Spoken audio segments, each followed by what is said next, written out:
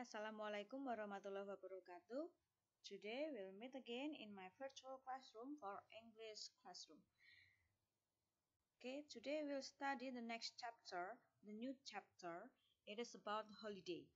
Okay, the theme is holiday. It sounds very easy, but for this chapter, in my opinion, this is a little bit difficult.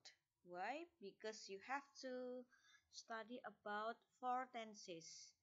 Nah, kelihatannya saja judulnya holiday. Holiday liburan ya, kelihatannya saja mudah.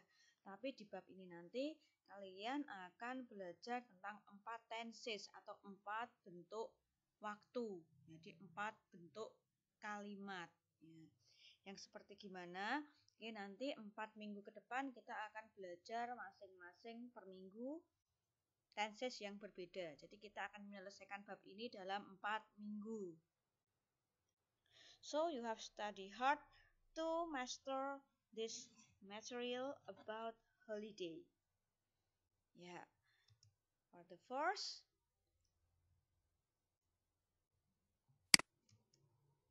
yeah, you have to master about vocabulary. Kosakatanya ya. Pantai. Untuk pantai in English is beach. Gunung, mountain. Kebun binatang, zoo. Taman bermain, playground. Danau, lake. Candi, temple. Keraton, palace. Hotel, sama, hotel. Penginapan in. Double N ya. Cerpen short story. Puisi poem. Kerajinan tangan handcraft or handicraft. Oleh-oleh souvenir. Istana pasir sand castle. Pemandangan view or scenery. For this vocabulary, you may take note on your notebook. Untuk kosakata ini, kamu bisa mengambil catatannya, bisa kamu catat di buku catatan. Oke. Okay. Next, table of verbs. Nah, yang ini, kalau tadi kan boleh ya, jadi boleh kamu tulis, boleh tidak untuk yang vocabulary tadi. Tapi kalau yang ini untuk table of verbs, kamu wajib punya.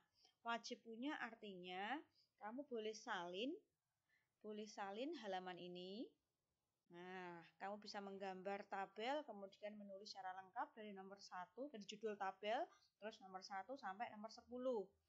Atau bisa juga kamu cetak, kamu print untuk tabel ini.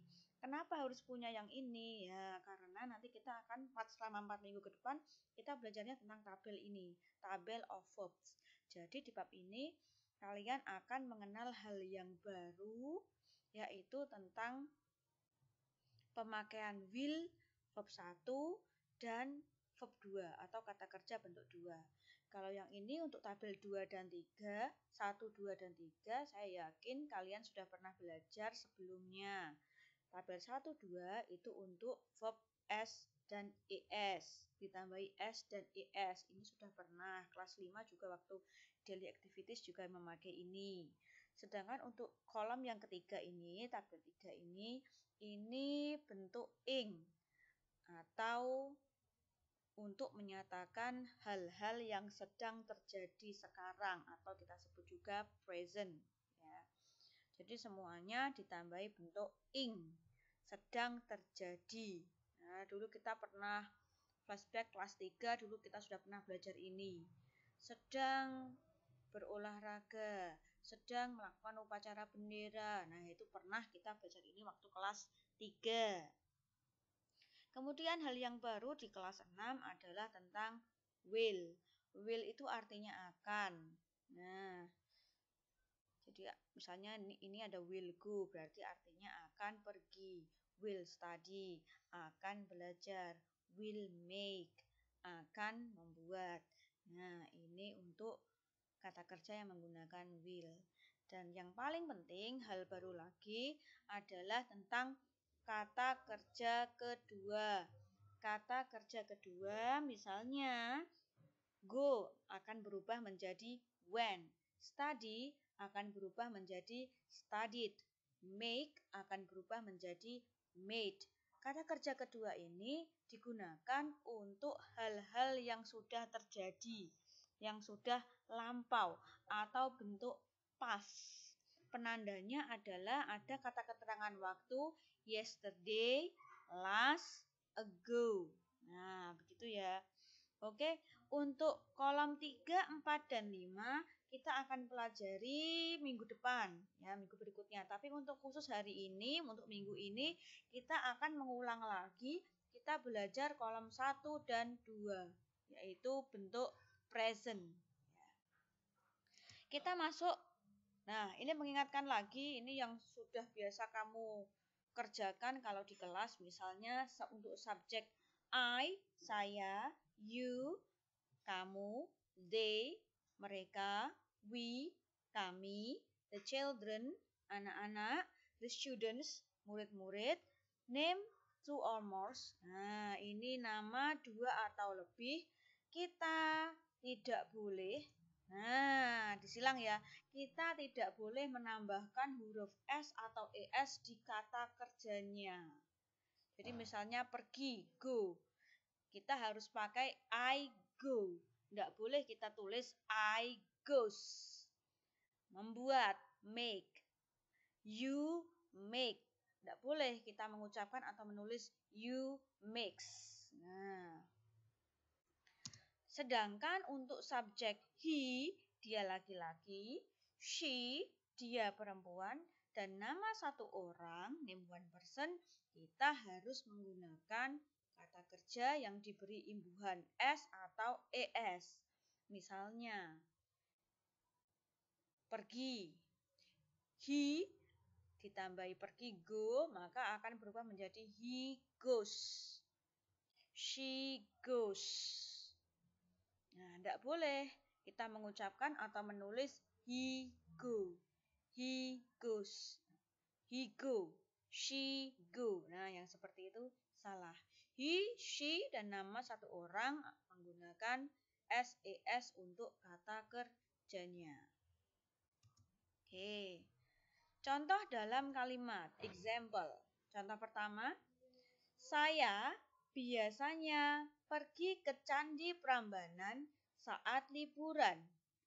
Oke, maka bentuk kalimatnya akan berubah menjadi I usually go to Prambanan Temple on holiday. Ya, biasanya itu usually. Karena subjeknya saya, I, maka kata pergi kita pakai go. Ditambahi S atau ES tidak, Mem? Tidak usah, karena tidak boleh. Ingat tadi Ayu Dewi tidak boleh pakai S, tidak boleh minum S. Jadi I usually go to Candi Prambanan, bahasa Inggrisnya apa? Nah, bukan Temple Prambanan ya, tapi kita reverse, kita balik jadi Prambanan Temple. Saat liburan, on holiday. Ya, begitu ya. Bandingkan dengan contoh kedua. Dina biasanya pergi ke Candi Prambanan saat liburan. Ini saat ya, kelebihan A. Saat liburan. Oke, Dina nama satu orang. Maka kalimatnya berubah menjadi Dina usually goes to Prambanan Temple on holiday. Di sini go akan berubah menjadi verb ditambah SES menjadi goes. Dina usually goes to Prambanan Temple on holiday. Oke, okay. Next example. Anak-anak selalu belajar bahasa Inggris. Nah, kalimatnya akan berubah menjadi the children always study English. Selalu bahasa Inggrisnya adalah always. Belajar itu study kita tidak boleh menambahi S atau ES karena ini subjeknya anak-anak, bentuk jamak, bentuk plural. Kemudian dia perempuan selalu belajar bahasa Inggris. Maka kalimatnya menjadi she always studies English ya. She Nah, Di sini subjeknya adalah si, maka kata kerjanya harus ditambahi SES. Tadi akan berubah menjadi studies. Huruf Y akan berubah menjadi huruf I dan E. Kemudian ditambahi saja huruf S. Oke, jadi pelajaran kita hari ini adalah masih tentang present ya. Ya, bentuk biasa seperti ini. Kita belum menginjak ke bentuk-bentuk yang lain karena kita akan lanjutkan minggu depan untuk bentuk ing, bentuk will, dan kata kerja kedua. Oke, sesungguhnya kata kerja kedua ini kamu hanya perkenalan saja untuk di SD dan nanti ketika kamu akan duduk di bangku SMP, kamu akan mengenal lebih banyak kata kerja bentuk kedua dan kata kerja bentuk ketiga. Oke, jadi kata kerja itu ada tiga bentuk, satu, dua, dan tiga, yang fungsinya dipakai berbeda-beda. Oke, sekali lagi saya ingatkan untuk vocabulary ini kamu boleh catat, boleh tidak karena ini pada dasarnya kamu sudah pernah pelajari waktu duduk di kelas 4. 4 5 6 ini ada di sini. Tapi untuk ini, untuk tabel of verbs kamu harus punya. Sekali lagi saya tekankan harus punya. Bisa kamu catat di buku, kamu gambar sendiri tabelnya atau juga bisa kamu print, kamu cetak. Ya. Oke. Untuk contoh ini juga kamu bisa lihat saja, kamu ulang-ulang saja video ini karena bentuk present ini gampang. Kita sudah pernah belajar bolak-balik dulu waktu di kelas 5. Dan untuk tugasnya kamu hari ini, untuk tugas kamu hari ini silakan kamu cek di Google Classroom. Nanti ada 10 ada 10 soal terjemahan. Jadi seperti contoh ini. Kamu bisa mengerjakan seperti contoh yang saya sudah jelaskan tadi. Ingat-ingat, Nah, yang perlu diingat adalah ini. I, you, Dewi, the children, the students, nama dua orang atau lebih tidak boleh pakai SES untuk kata kerjanya. Sedangkan untuk he, she, dan nama satu orang harus menggunakan verb ditambah SES. Oke, okay, kids. Material for today finish sudah selesai. Silakan cek Google Classroommu dan kerjakan tugasmu dengan teliti dan benar sebelum mengirimkannya ke Google Classroom. Oke, have a nice studying and see you.